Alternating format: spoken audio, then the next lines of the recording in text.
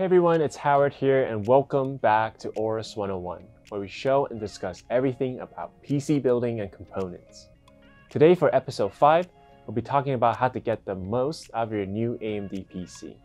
This episode is meant for beginner and intermediate builders, so with that being said, let's get started. There are a few things that you can do to up the performance of your newly built AMD machine. First off, we're going to enable XMP or Extreme Memory Profile. XMP allows you to access higher than normal memory speeds, and this will give you better performance across the board when running your applications. To do this, all we want to do is go into the BIOS and enable XMP. That's it, easy as that. Next up, we want to really take advantage of the AMD CPU and AMD GPU. Thankfully, AMD has us covered with something called Smart Access Memory.